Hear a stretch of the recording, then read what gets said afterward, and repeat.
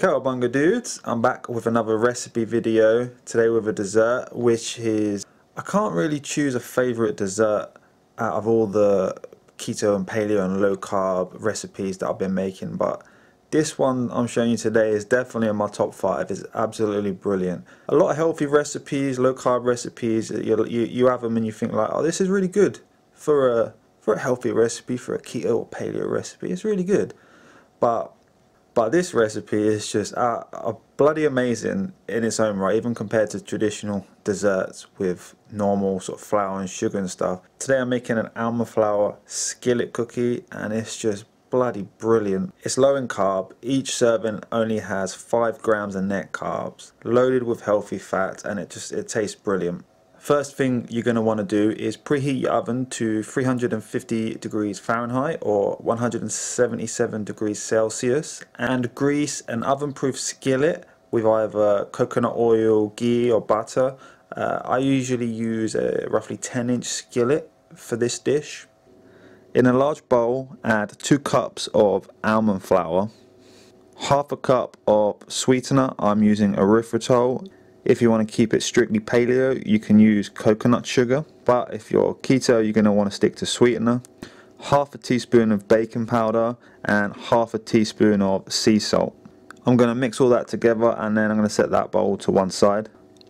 Then in another bowl, I'm going to add half a cup of butter. I, I'll weigh it solid, but then I'll put it in the microwave for about 30 seconds and then I'll add it to the bowl slightly melted, just so it's easier to mix.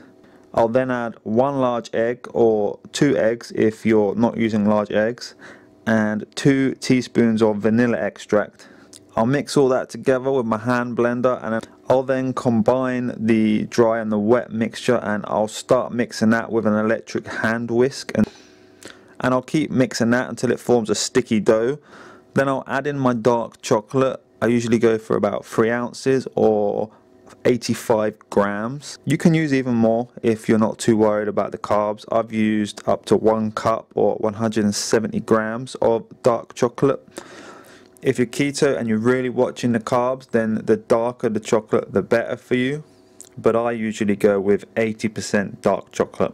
I'll then start stirring in that chocolate evenly. When it's thoroughly mixed, I'll add it to the skillet and I'll bake that for about 20 to 25 minutes until until the cookie is golden brown. You can have this with some whipped coconut cream or some coconut cream ice cream. It, it, is very calorie dense and it tastes great so don't overdo it. it. It's easy to go nuts with this one. With a skillet cookie this size, you could probably cut it into 10 pieces and each serving would fill you up. When I first tasted this, it did surprise me how a dessert using low carb ingredients can taste this good. So, so it's definitely one of my favorite low carb desserts uh, that I've made. So I hope you enjoy it. If you give it a try, leave a comment down below and let me know what you think. I have a feeling that most of you guys are really going to like this one. Uh, it is so easy, so give it a try. Let me know what you think. Cowabunga dudes.